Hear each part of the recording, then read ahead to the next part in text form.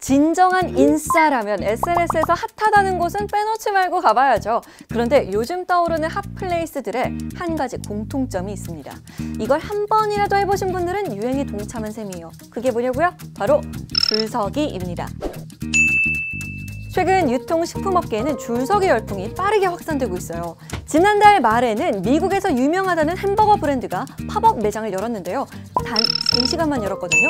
역시나 매장 앞에는 끝없는 줄이 이어졌습니다.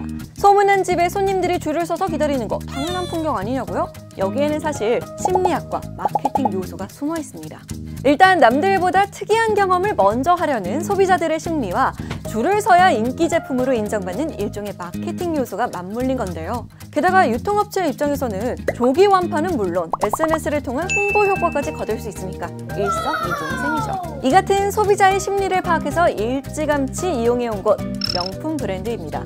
명품 매장은 손님마다 한 명의 직원을 붙여서 일대일 쇼핑 서비스를 제공하는데요. 그러다 보니까 자연스럽게 매장 밖에 줄서기 현상이 일어나죠. 쇼핑 편의를 위해 입장을 제한한다는 취지라지만 일각에서는 전시 효과를 위해서 일부러 줄을 세운다라는 지적이 나오기도 합니다.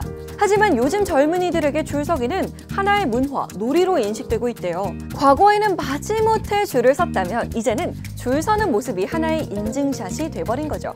1, 2년 사이에 SNS가 강세를 보이면서 줄서기가 영상 콘텐츠로도 활용되는 모습을 쉽게 볼 수 있습니다.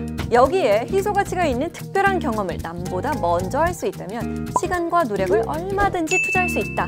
라는 젊은 소비자들의 심리가 표출된 것으로 분석돼요. 물론 시간이 아깝다라면서 곱지 않은 시선을 보내는 이들도 있지만 하루 반나절을 꼬박 줄서기에 투자한 이들은 당당하게 말합니다.